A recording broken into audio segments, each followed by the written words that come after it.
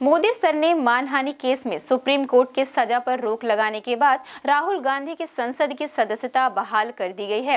राहुल गांधी एक बार फिर से सांसद बन गए हैं। वहीं उनकी सदस्यता बहाली को लेकर तमाम नेताओं की प्रतिक्रिया आनी शुरू हो गई है। इस बीच छत्तीसगढ़ के मुख्यमंत्री भूपेश बघेल ने राहुल गांधी की सांसदी बहाल होने पर प्रतिक्रिया देते हुए कहा कि नफरत के खिलाफ मोहब्बत की जीत हुई है। राहुल जी के आज लोकसभा में रोकने के लिए जो तमाम उपाय किए थे, आखिर में उच्चतम न्यायालय के फैसले के बाद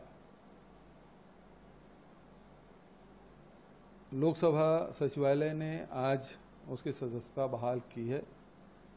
सत्य की जीत हुई है और देश, राहुल जी को लोकसभा में सुनना चाहते थे।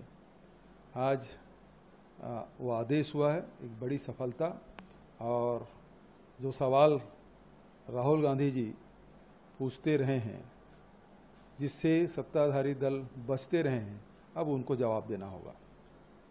बड़ी बात यह है कि पूरे सौ दिन बीतने के बाद भी डबल इंजन की सरकार वहाँ हिंसा रोक नहीं पा रही है, बल्कि हरियाणा में भी डबल इंजन की सरकार है, वहाँ भी हिंसा हो रही है, और लगातार इस प्रकार की जो घटनाएँ घट रही है ये बहुत चिंताजनक है और देश के लिए कतई उचित नहीं है।